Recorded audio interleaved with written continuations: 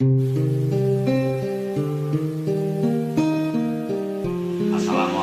warahmatullahi wabarakatuh. Kembali bertemu saya Iwan Damai Artwork. Saya akan kembali lagi membahas tentang memperbaiki soundcard F8 yang tidak bisa mengecas. Walaupun sebelumnya saya sudah membahas bahwasanya rusak kebanyakan konektor apa eh, semacam tahanan yang kaki lima ini. Nah setelah ini ini termasuk untuk indikator LED jadi kali ini saya menemukan cara yang paling tepat cara yang paling ringkas dan mudah didapat karena kita sulit mencari uh, tahanan pengecas yang yang kaki lima saya menggunakan dioda bekas-bekas elektronik apa pun ini bentuk diodanya. Ntar saya copot ya.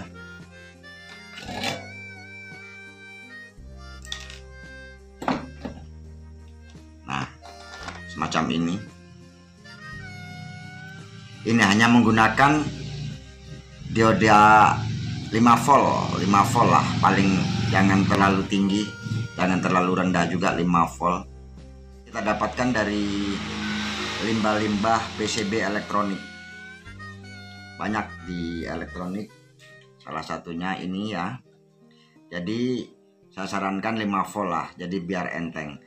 Nah ini hanya cukup saya langsungkan aja dari yang yang dioda min ini, yang dioda ground min ini saya tempel ke positif konektor cas kepada saya tempel di sini.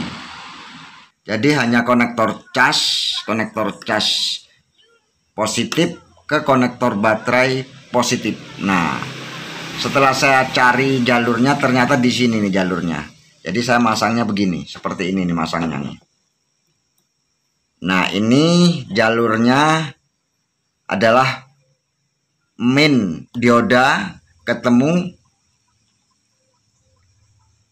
plus konektor cas konektor cas plus jadi ke min dioda. Nah contohnya ini kan.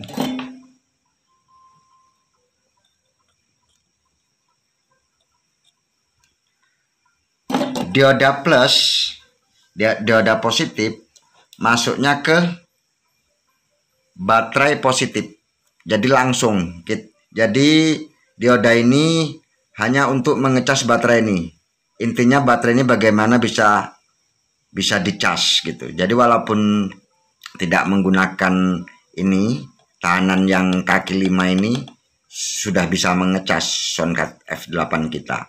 Tapi mungkin kalau tidak menggunakan dioda kaki lima ini indikator lampu tidak akan nyala. Tapi kalau memang penyakitnya hanya nggak bisa mengecas, cukup menggunakan dioda 5 volt ini di secara langsung. Jadi kalau saya gambarkan seperti ini. Kalau saya gambarkan. Nih. Ini adalah uh, positif konektor cas, konektor cas yang positif kita gabung ke kita solder ke min dioda. Nah ini min dioda. Jadi gambarannya begini nih. Nah yang plus ke min dioda.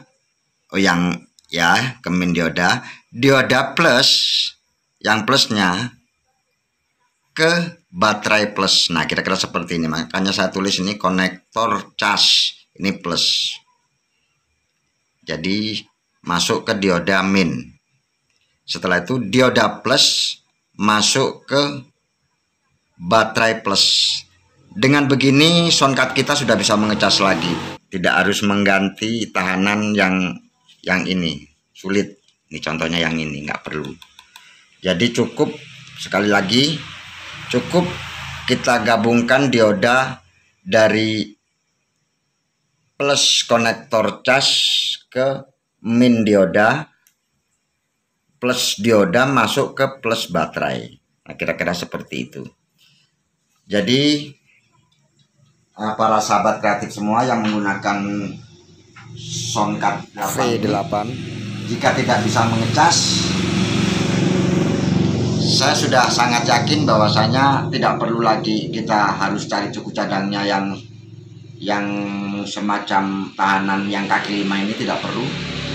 Daripada sulit-sulit ambil saja apa dioda bekas bekas-bekas elektronik bekas-bekas elektronik begini yang ukurannya 5 volt. Langsung kita pasangkan ke konektor cas sampai ke konektor baterai. Hanya seperti itu ternyata soundcard kita sudah bisa mengecas kembali. Jadi nggak perlu lagi sulit-sulit. Mungkin itu uh, tutorial singkat dari saya mudah-mudahan bermanfaat. Tapi kalau memang bisa membaca gambar skema ini, ini cukup begini. Tolong di zoom cukup seperti ini. Saya ulangin sekali lagi. Nah ini.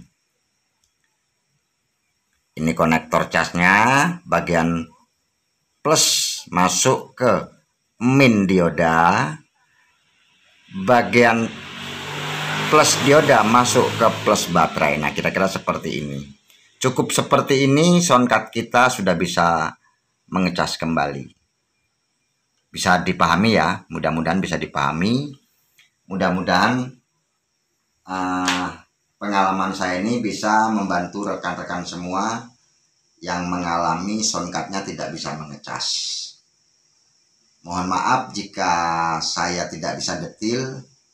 Mungkin ini cukup sudah cukup bisa dipahami. Mudah-mudahan bermanfaat. Salam satu hobi, salam satu jiwa. Dan jangan lupa bahagia. Assalamualaikum warahmatullahi wabarakatuh.